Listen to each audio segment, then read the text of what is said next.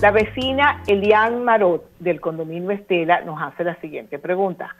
¿Se puede exonerar un inmueble ubicado en planta baja el pago de los gastos para la conservación y mantenimiento del ascensor? Definitivamente no, señora Elian. Nosotros no podemos alegar que por el hecho de que los, inmuebles que estén en planta baja no utilicen el ascensor, no estén obligados a pagar los gastos de funcionamiento y mantenimiento. ¿Y esto por qué? ¿Cuál será la razón que nos, eh, nos indica que esto debe ser acá? Así, porque justamente eh, tanto el documento de condominio como eh, la ley de propiedad horizontal nos enumera cuáles son las cosas comunes a todos los apartamentos. Y ahí hace una descripción bastante completa de cuáles son esos, esos elementos que le pertenece a la comunidad, a la, a la copropiedad, y que para que puedan mantenerlos activos, pues cada propietario tiene eh, derecho sobre esas cosas comunes y está obligado a pagar en función de esa alícuota la conservación de las cosas comunes, porque cada uno de esos elementos le añade valor a la propiedad.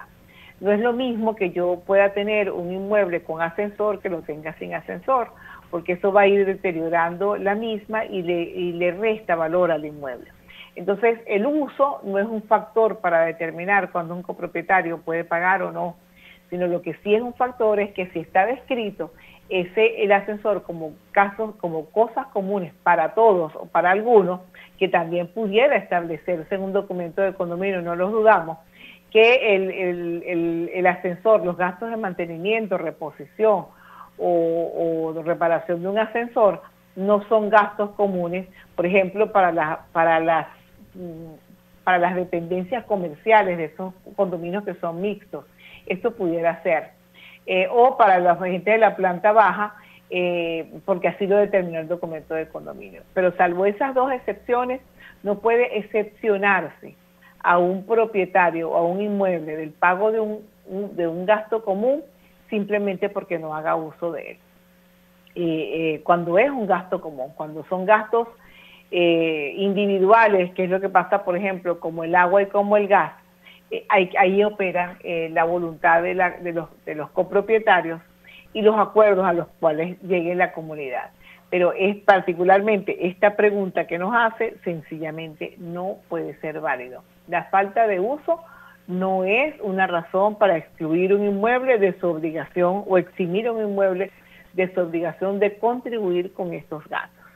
Eh, y también ella nos hace otra pregunta, ella nos, quiere saber eh, qué tan válida es una carta consulta enviada por la vía del correo electrónico.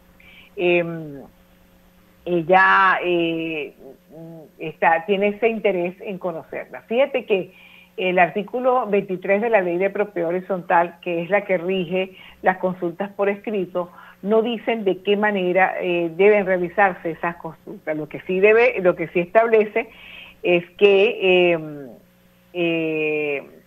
dice que las consultas deben hacerse por escrito.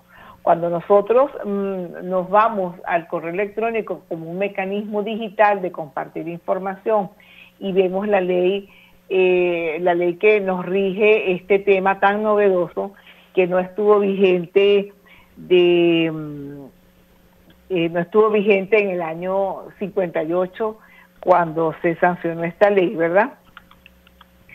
Eh, esta ley de datos y de, mensajes y firmas electrónicos nos da a nosotros un marco legal para saber cómo debemos llevar adelante esta esta consulta. ¿Qué nos dice la ley de, mensajes y, firmas electrónicas?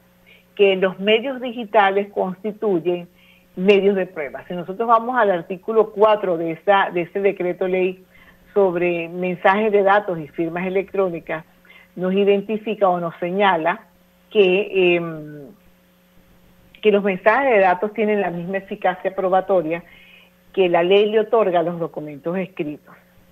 Eh, y que para promover, para controlar, para evacuar esto como medio de prueba, este, se hace conforme a lo que establece el Código de Procedimiento Civil como una prueba libre.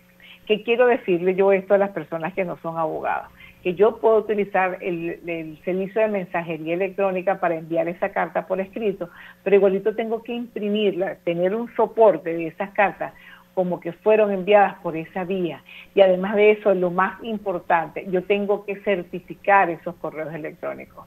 Tal vez no con el, el, procedimiento que establece esta, la propia ley para hacer certificación legal, pero certificar para nosotros tiene que decir que validamos que ese correo electrónico a partir del cual o a través del cual se envían los avisos de cobro, las comunicaciones a toda la comunidad de copropietarios, es válido, es del propietario y esa comunicación le llega a él. Eso es un paso previo que tendremos que hacer y que nosotros recomendamos hacer antes de ah, proceder a hacer una carta, una consulta por escrito por la vía del correo electrónico. Pero además de eso, prever que hay personas que no tienen correo electrónico.